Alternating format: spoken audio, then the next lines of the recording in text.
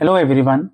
So, let us discuss the arithmetic mean in case of continuous series.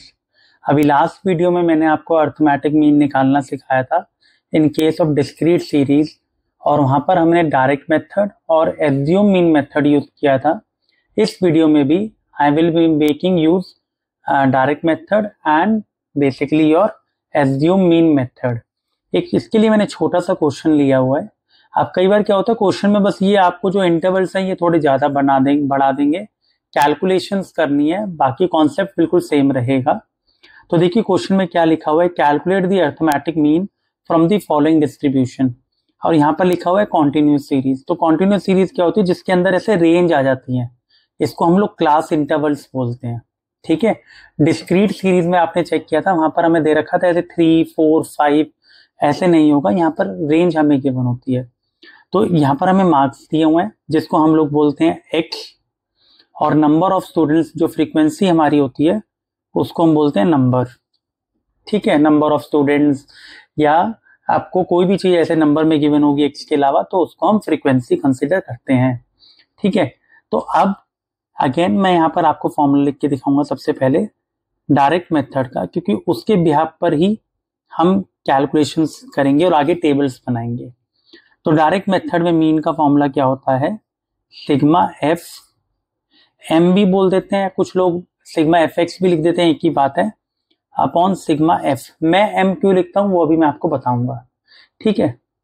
अब interval है। जब discrete series हमने किया था, हमने डायरेक्टली मल्टीप्लाई कर दिया था और डिवाइड कर दिया था। लेकिन यहाँ रेंज है। तो रेंज के लिए सबसे पहले मुझे मिड पॉइंट्स निकालने पड़ेंगे। I have to calculate the mid points ठीक है? और फिर हम एफ़ एम निकालेंगे मल्टीप्लाई करके। मैं थोड़े छोटे छोटे कॉलम्स इसलिए बना रहा हूँ ताकि हमको आगे एज्यूम मीन मेथड में भी कॉलम्स चाहिएँगे। तो देखिए मिड पॉइंट कैसे निकलता है किसी भी चीज़ का? ये ज़ीरो है और ये टेन है। तो zero plus ten upon two तो फाइव आपको सारे निकाल के दिखाने की ज़रूरत नहीं है, ऐसे आप डायरेक्टली कर सकते हो। Ten plus twenty upon two thirty बन गया ten plus twenty thirty upon two fifteen अब ये टेन टेन के गैप में चल रहे हैं ना तो ये मिड पॉइंट भी टेन टेन के गैप में चेंज होगा। Twenty five and thirty five आप करके देख लीजिए। ट्वेंटी प्लस थर्टी कितना हुआ? Fifty fifty divide by two twenty five mid point का मतलब ये होता है कि जो हम बिल्कुल मिडल वैल्यू दोनों की तो इसे हम टू से डिवाइड करते हैं मिड पॉइंट्स निकालने के लिए। अब मीन का फॉर्मूला क्या है? डायरेक्ट मेथड से sigma F M upon sigma F तो simple two into five ten three into fifteen forty five four into twenty five hundred one into thirty five thirty five अब direct method के लिए मुझे formula क्या चाहिए? Sigma F M sigma मतलब total इन सबको आप ऐड कर दीजिए।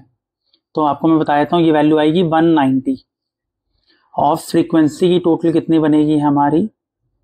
टू प्लस थ्री फाइव और ये बन रहा है टेन। तो सिंपल आपको कैसे निकालना है? One ninety upon ten. तो हमारा मीन कितना आ गया? Nineteen as simple as that I hope it is clear to you मैंने एम यहाँ इसलिए लिखा क्योंकि मिड पॉइंट था। सेम अगर मैं इसको शॉर्टकट मेथड आपकी चॉइस आप कौन सा भी मेथड यूज़ कीजिए। अगर आप इलेवन ट्वेल्थ के स्टूडेंट हैं तो जनरली टीचर्स बोलते हैं शॉर्टकट मेथड या एज्यूम मीन मेथड से निकालिए। लेकिन अगर आप ग्रेजुएशन और पोस्ट ग्रेजुएशन के हैं, वहाँ पर सिंपल आपसे वो बोलता है कि आप आंसर निकाल के दिखाइए, वो मेथड मेंशन नहीं करते। एज्यूम मीन मेथड फिर भी आप यूज़ कर सकते हो बिकॉज़ सिंपल बना देता है ये चीज़ों को। फॉर्मूला इसका क्या होगा? सेम मीन जैसे वहाँ पर हमने यूज़ किया था A plus sigma F D upon sigma F अब कई जगह पे आप यहाँ देखोगे सिग्मा एफ़ की जगह एन भी लिखा होगा, सिग्मा एन तो एन और सिग्मा एफ़ का मतलब सेम ही होता है that is total of frequency so don't get confuse ठीक है? तो अब अगेन अब यहाँ देखिए आप। वहाँ पर जब डिस्क्रीट सीरीज़ में हमने मिड पॉइंट लिया था इसमें से, लेकिन अब मिड पॉइंट हम इस सॉरी हाँ डी एज्यूमीन हमने लिया था इसमें से। लेकिन अब एज्यूमीन हम इसमें से नहीं लेंगे, हम मिड पॉइंट में से लेंगे, क्योंकि मिड पॉइंट अगेन निकला किसमें से है? एक्स के बीच में से ही निकला है। तो अब यहाँ देखिए, जैसे मैं आपको लास्ट क्लास लास्ट वीडियो में बता रहा था कि पाँच आइटम्स होती हैं तो हम मिडल वैल्यू को लेते हैं। अब यहाँ पर चार हैं। तो मैं कहता हूँ कि मैं फिफ्टीन को ले रहा हूँ एज दी मीन अब आप कहते हो मैं ट्वेंटी फाइव से ले रहा हूँ।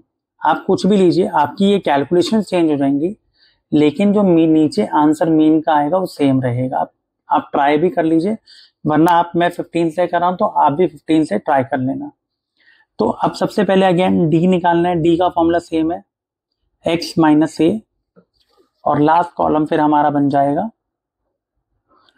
एफ़ डी तो let us see what is A here A हमारा 15 है। तो x कितना है? X अब यही रहेगा। हम मिड पॉइंट को ही x मानेंगे अब। क्यों? क्योंकि रेंज को हम ऐसे सॉल्व नहीं कर सकते। इसके लिए हमने क्या निकाला कॉन्टिन्यूस सीरीज़ में?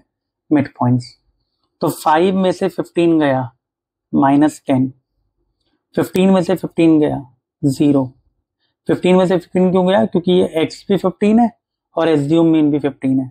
ट्वेंटी फाइव में से फिफ्टीन गया टेन थर्टी फाइव में से फिफ्टीन गया ट्वेंटी अब एफ़ और डी ये रहा एफ़ ये रहा डी अगर आप डायरेक्ट मेथड नहीं सॉल्व कर रहे तो आप एफएम नहीं निकालेंगे, लेकिन मिड पॉइंट तो आपको तब भी निकालने पड़ेंगे, चाहे आप डायरेक्ट मेथड से सॉल्व करो, चाहे आप एज्यूम मीन मेथड से करो मिड पॉइंट तो निकलेगा, क्योंकि उसी की बेसिस पे हमारा डी और एज्यूम मीन हमें मिलेगा। ठीक है? तो टू इंटू माइनस टेन तो this is minus twenty three into zero zero four into ten forty, one into twenty twenty.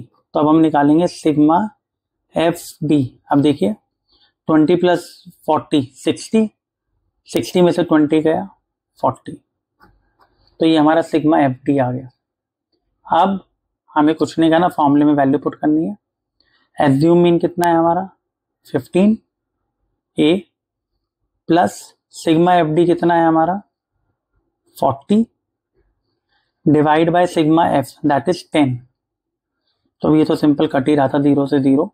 अब क्या बचा? फिफ्टीन प्लस फोर नाइनटीन तो देखिए, चाहे आप कोई भी मेथड से आंसर निकालिए, आपका आंसर सेम आएगा that is nineteen and nineteen I hope this concept is clear to you तो आप चाहे डिस्क्रीट सीरीज़ हो, चाहे कॉन्टिन्यूस सीरीज़ हो, चाहे इंडिविजुअल सीरीज़ हो मीन आप इनमें से कोई भी फॉर्मूला यूज़ कर सकते हैं थैंक you.